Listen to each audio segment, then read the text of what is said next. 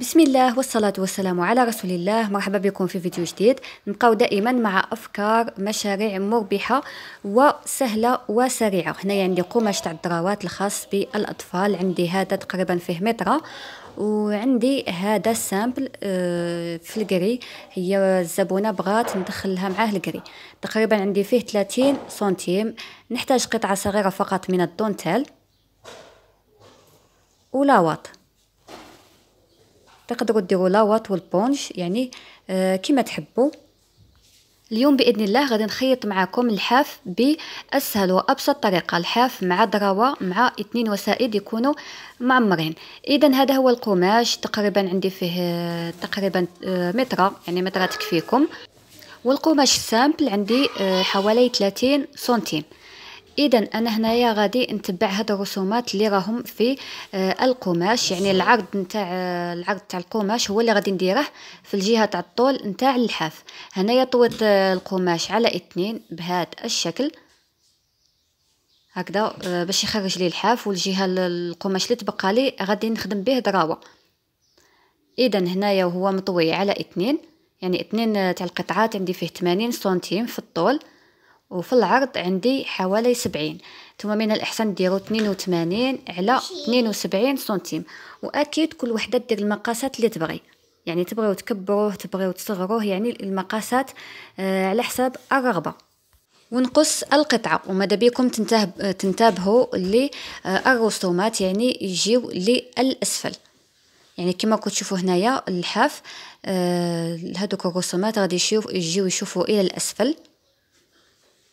هاد القطعة غادي نخليها آه، نفصلها دراوة نخليها على جنب.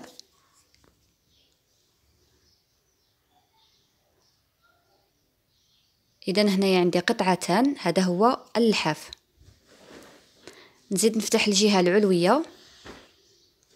إذا من هنا عندي تقريبا 80 أو 82 سنتيم ومن هنايا حوالي 72 سنتيم. جاتني هنايا آه غادي نقلع هذيك الزيادة. كنت رسمت به الطبشور عينت به آه، الطبشور ونقلع هذيك الزيادة.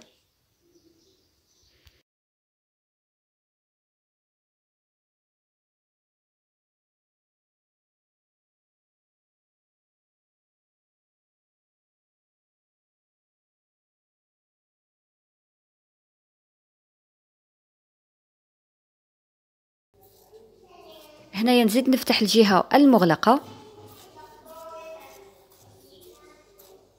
وتتأكدوا انه الديسان تاع القماش يعني راهي راهي يشوف يعني القطعتين يشوفوا آه للأسفل في زوج بنفس الاتجاه. إذا كما كنتوا تشوفوا هنايا راه عندي هذا مقلوب. يعني نقلب هذا بهذا الشكل هكذا. وندير الوجه إلى الداخل نتاع القماش. نزيد عليه قطعة ثانية وجه القماش إلى الداخل. وحتى هو يكون يشوف إلى الأسفل يعني هذاك الديسان أو هذوك الرسومات. هنا المبتدئات تقدروا تحكموا بالدبابيس كامل في الجوانب. باش تجيكم عملية الخياطة سهلة. إذا نروح لماكينة الخياطة. نبدأ الخياطة من هنايا في الجانب. نخلي واحد سنتيم نفوت عليه بالخياطة هاد الجانب وهاد الجانب وهذاك الجانب. نخليه فقط من هنايا الجهه السفليه نخليها مفتوحة باش نقلب القطعة إلى الخارج. وبالنسبة للقطعة تاع الدراوة فما بغيتش نقص منها هاد القطعة كامل غادي نديرها دراوة. فقط ندير لها كفة في كامل الجوانب ثانية صغيرة ثم ثانية صغيرة ونفوت عليها كامل بالخياطة. تقدروا تدخلوا فيها لون آخر يعني كما تحبوا. أنا غادي نديرها سامبل ونخليها كبيرة كما راها. بالنسبة للوسائد فغادي ندير وسادة الغيمة بهذا القماش. الزبونة آه، اختارت هذا القماش ندخل لها الغوز مع الكري هذا شريت منه تقريبا 30 سنتيم.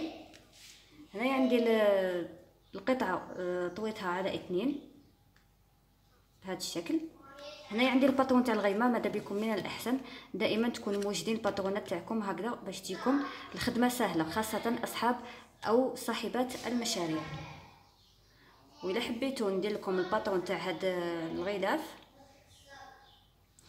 آه، في في فيديو مع الطريقة بالتفصيل.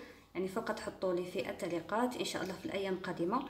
نعطيكم ال patron هذا كذلك الباترونات الاخرى اللي راها عندي تاع النجمة.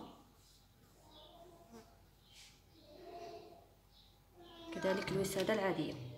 هنايا دائما تزيدوا حق الخياطة هذيك الواحد سنتيم يعني توفيو.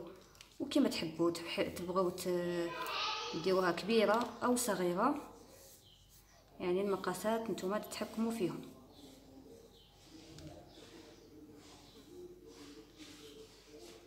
اذا هذا هو الباترون لكن أنا هنا نسيت شوية نعلي لأنه الجلد كان عندي ناقص كي فصلت بهذا الشكل. تقدروا ما تفصلوا بدون patron. ونقص ال patron. اذا هذا هما الوسائد بعد ما فصلتهم هذه الغيمة بعد ما كسيت ال patron. آه هاد القطعة غادي نديرها بابيون نعطيكم المقاس تاعها. هي أنا صراحة نفصل يعني عيني ميزاني. وأنتم تتحكموا في المقاسات تبغوا ديروهم كبار تبغوا ديروهم صغار. هنا عندي القطعة فيها 18 على 11 نطويها على اثنين بهذا الشكل. نروح لماكينة الخياطة. تخيطوا تخيطوا من هنا وهنا ومن هنا ومن هنا وتخليو هنا واحد الفتحه صغيرة وتقلبوا القطعة تاعكم. ولا تخيطوا كامل القطعة الجوانب.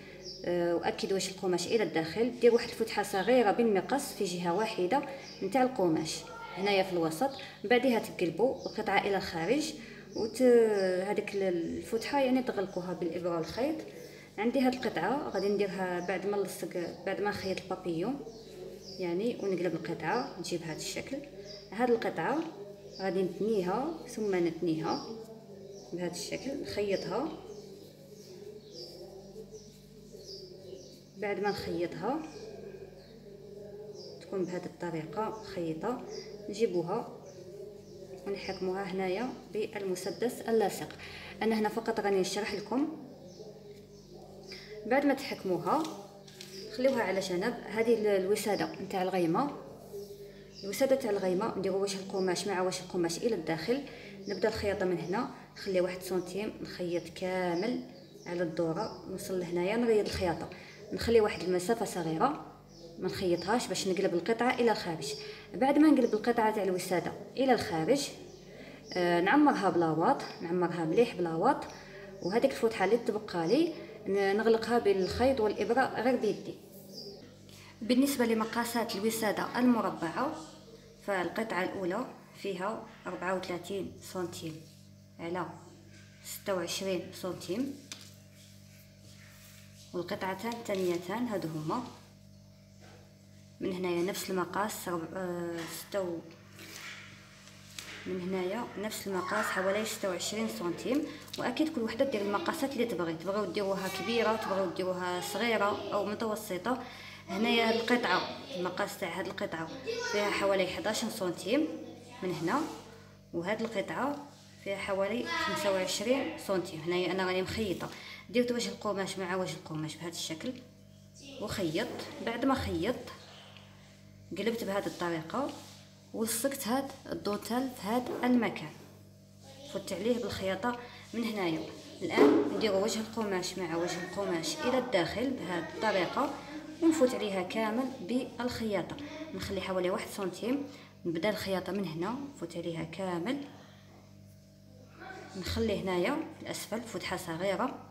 باش نقلب القطعة إلى الخارج. بعد ما نقلب القطعة إلى الخارج نعمرها بلاواط ونغلقها بالإبرة والخيط يعني غير بيدي. وهذا هو شكل الغيمة. هنايا مازال ما مسكتهاش مليح. تحاولوا كامل تخرجوا هذوك الجوانب إلى الخارج. هذه هي الفتحة اللي خليتها. نعمرها بلاواط جيدا. ومن بعدها نغلق بالإبرة والخيط بحيث الخياطة تكون مخفية فقط باليد. والبابيو هذه هي. كما قلت لكم خيطتها وقلبتها.